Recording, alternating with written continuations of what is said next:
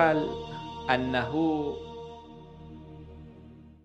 بحر العلوم المعروف.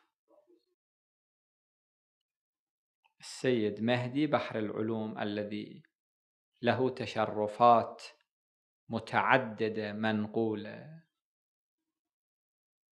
هذا بعد أن أكمل تحصيله العلمي فكر في أن يذهب إلى مكة المكرمة. الآن ليش؟ ما هو الدافع وراء هذا القرار؟ لم يذكر في كتب التاريخ فيما أعلم. راح إلى مكة وبقي فيها فترة متخفيا إلا أن تتقوا منهم تقاتا. وإلا كانوا يأخذوه يقتلوه مثل هؤلاء اللي الآن باللطيفية دا يقتلوهم من شيعة أهل البيت. كان متخفي ما كان يظهر. في يوم من الأيام كان يماشي إمام الحرم المكي يتمشى معه. وإمام الحرم المكي لا يعرف أن هذا من أتباع أهل البيت.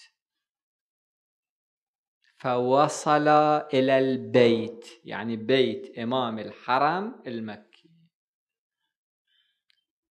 بحر العلوم دخل البيت ورأى في بيت هذا الإمام مكتبة عظيمة ضخمة. فقال للإمام إمام الحرم المكي ما يوجد في هذه المكتبة. قال فيها ما تشتهيه الأنفس وتلذ الأعين. كل شيء أكو.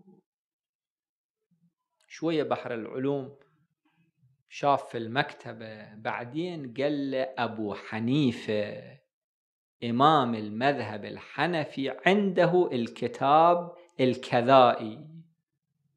أكو في مكتبتك هذا الكتاب؟ قال لا. ولكنني رأيت هذا الكتاب كتاب أبو حنيفة. قال أنا شايف عبارة في هذا الكتاب. أبو حنيفة يقول إنني تتلمذت عند جعفر بن محمد. صلوات الله عليه الإمام الصادق.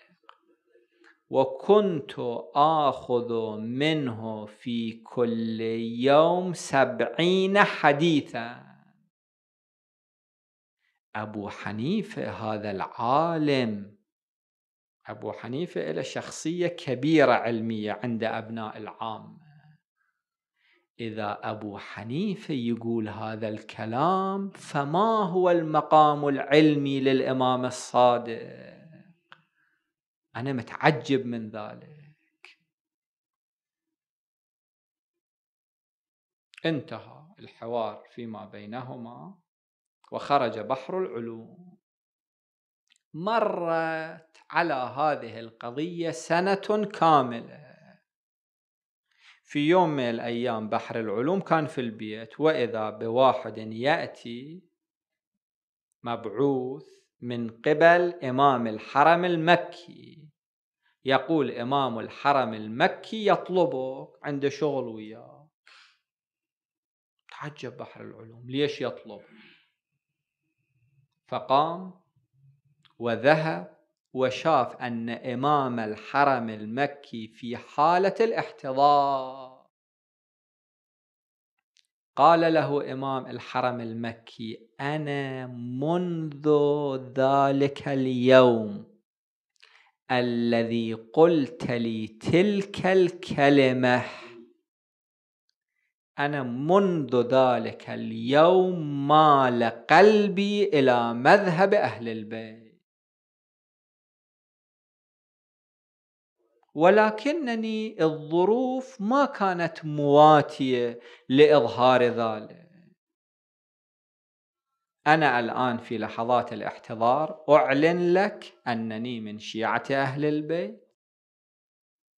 وإذا أنا مت فتولى أنت تغسيلي وتكفيني. وتجهيزي ودفني على طبق مذهب أهل البيت. توفي العالم بعد لحظات أو دقائق. بحر العلوم طبقا لوصيته قام بشؤونه ومعه ذو الميت لأنه وصية. القضية انتهت ولكن شيئا فشيئا أخذت هذه القضية بالانتشار. أنه إمام الحرم المكي هذا تحول إلى موال لأهل البيت. نقل لي أحد الإخوة بين قوسين قضية مطولة مجملها أنه رحت إلى بيت فلان إمام جمعة. من الآخرين المخالفين. يقول فدخلت فأدخلني في مكتبته الداخلية. شفت مملوءة بكتب أهل البيت ووجدت فيها تربة. قلت له هذا شنو؟ قال أنا من أتباع أهل البيت. ولكن الظروف لا تمكنني من إعلان ذلك. أخاف انتشرت هذه القضية ويبدو اللي كانوا في مكة في ذاك الوقت كانوا مثل اللي الآن باللطيفية واليوسفية موجودين والمحاوي. فبلغ بحر العلوم أنهم يريدون قتله. ففررت منكم لما خفتكم. فخرج بحر العلوم من مكة وعاد إلى النجف الأشرف